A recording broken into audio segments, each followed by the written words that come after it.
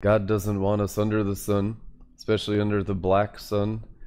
He doesn't want us under, under Balaam's red sun of the evil eye. He wants us under the sun, Mashiach, Jesus Christ, the righteous one, and totally crucified with Christ, and repentant, contrite of heart.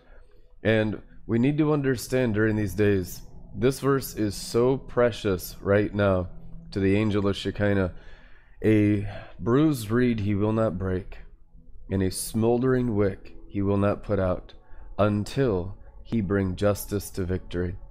That speaks of your spirit being mentored and disciplined and sometimes whipped to remove the husk from off your spirit, but he will do it in such a way that your spirit's not broken. He will do it in such a way that your spirit is encouraged He'll do it in such a, such a way that you can continue to walk with Him along the way of the path of lightnings. And so it does say in Hebrews, in Hebrew, if you read Hebrews in the complete Jewish Bible, He whips every son that He receives. Now, in today's Christianity, you talk about whipping people, and you're gonna have a lot of believers lose their minds because we're just we've been so coddled in swaddling cloth and rocked in the manger. And you know we just think we're perfect and we don't think we need correction.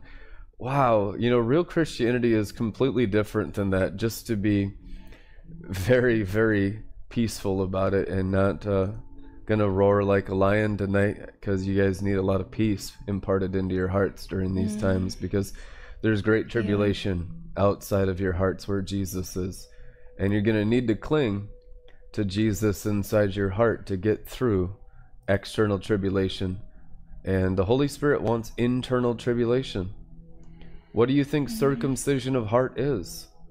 Circumcision of heart is internal tribulation. Now, the narrow path is receiving internal tribulation, and it's not protecting the heart, it's not protecting the spirit, it's not protecting the mind. It's allowing the Word of God to remove what the angels are commanded to remove from you, from me, and from all believers and followers of Almighty Mashiach Jesus Christ worldwide. And if we're obedient, we'll have a good time. Because immediately after the scourging, after the chastisement, the discipline, the whippings, now I've been whipped a lot, guys. He whips me into shape all the time. And I am not an Egyptian taskmaster. I am not a cruel punisher of the human spirit. But I am cruel towards the Kelipot. I am cruel towards the demon. I hate the magic spells. I hate yeah. the principalities. I've hated them with perfect hatred. King David, it is written in the Psalms. So you need to understand that when the whips of the cords of righteousness when they come upon the soul, because they will come upon the mm-hmm. animal's soul a lot if you're a real disciple. If you are a real mm-hmm. disciple, it comes upon you a lot. If you are a student, you get a very little bit of whips, very little bit of correction, because a student can't really receive anything.